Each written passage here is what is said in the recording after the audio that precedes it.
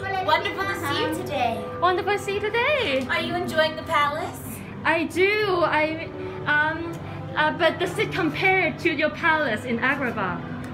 Oh, well, this palace is very, very beautiful. I think Abu would love to climb on the towers, but he's still learning. Maybe I can bring him sometime.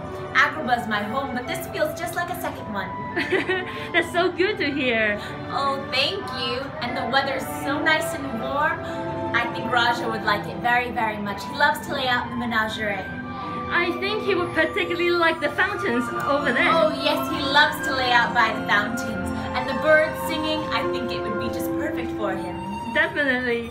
So I have questions for you today. Sure. Uh, what are you going to do this spring?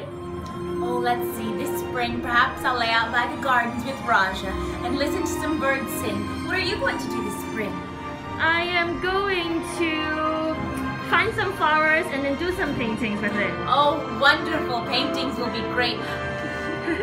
Thank you so much. Thank and, you. Oh, I also have a question. Um, what have you been really into lately? Oh, let's see. Well, we're trying to get Abu to like fireworks again. He gets a little bit scared. So lately, each night, we put a beautiful diamond sky full of fireworks just to see if Abu gets used to them. Wow, that sounds like a wonderful thing. And then if you can travel with the fine carpet with Aladdin, would be amazing. Oh yes, that'll be wonderful. Thank you so much, Jasmine. Thank